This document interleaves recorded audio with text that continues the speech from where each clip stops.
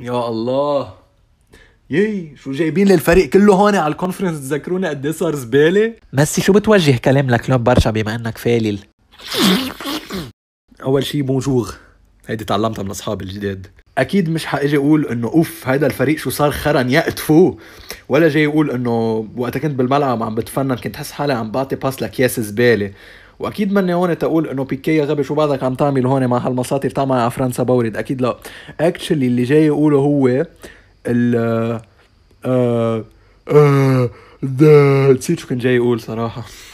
برافو ميسي بيكي بعدني زعلان منك. كيف ما نيكتني مرتك.